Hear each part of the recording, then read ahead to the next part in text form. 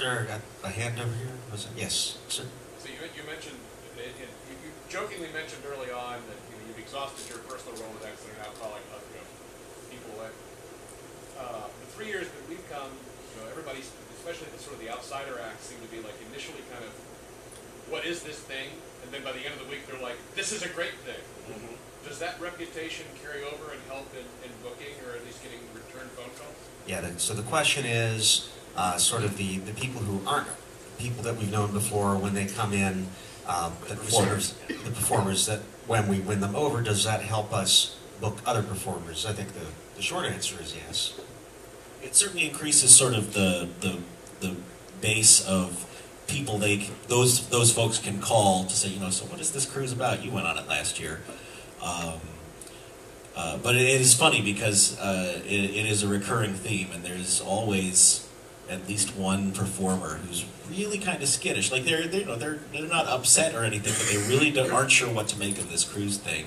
And by the end of it, they could not be happier. Um, uh, not not to single him out, but Randall Munroe, uh, who is the sweetest guy you ever knew, really was not sure where his place would be in this and how he was going to deal with all of this or something. And he was he is our one of our biggest cheerleaders at this point. He he can't say enough nice things about the cruise whenever we talk to him. And I will say, almost without exception, the performers who come on the ship discover that this is the, one of the greatest greatest audiences they've ever performed for, whether they are known to this audience or not. Um, and you know, I'm just thinking about this year. Ri- Rhea and Hari and Amy and Ted have all said to me individually, like, "What, what a fantastic crowd of people this is, and what a great audience this is." And And Jean, she is obvious. and Gene, It's obvious you know, the Gene, whole time. uh, yeah, right. Gene loves you. But they say, you know, they, the thing that keeps coming back to me, the feedback that I keep getting, is they're like, "How- there's, there's so much uh, love and sincerity in this group, and it's really a rare, it's really a rare thing for a performer to come, uh, to come into a scene cold like that. Uh, to- you know, the, I, I, I delight in playing for my fans. I cannot stand playing for people who don't know who I am. It is so much less fun. Uh, and uh, and I think the exceptional thing about about this group is that even the people who are totally unknown to this crowd uh, find find that the crowd is really receptive, as if as if they have been as if you have been their fans all along. It's a, it's a really wonderful thing to see. Oh, and I have I have just one note about something that pretty much all the new performers have mentioned to me is they have noticed what an incredible community you guys are. Um, like last night, Rhea was at the LGBTQ LGBTQS happy hour and was pretty impressed. Like just kind of sort of blown away by how like, inclusive and open and like supportive and kind you all are to each other.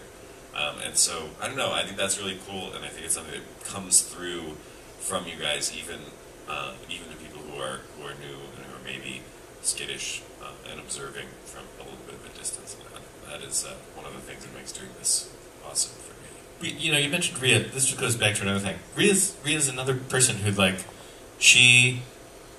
You know, when she came to the Artemis training last night, she she looked she looked she was like, I want to be engineering, obviously.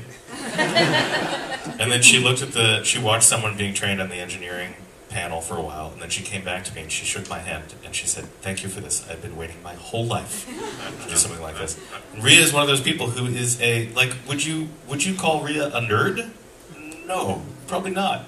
But you know, she's right. Well, now she is. I know. She's right there. She's right there. She's right there with us. Uh, and it's it's. Uh, I'm, I'm always excited when you get that little little secret secret nerd thing pokes out. It's great. Ted Leo in the Silmarillion. I know Ted Leo. He, he has an entire Tolkien library he wanted to bring this trip. Yeah, he, Literally. At some at some point, he entertained the idea of doing a every night a midnight reading from the Silmarillion. Today, today's, Insane. today's hug Ted Leo. Don't you see him? Just give him a hug.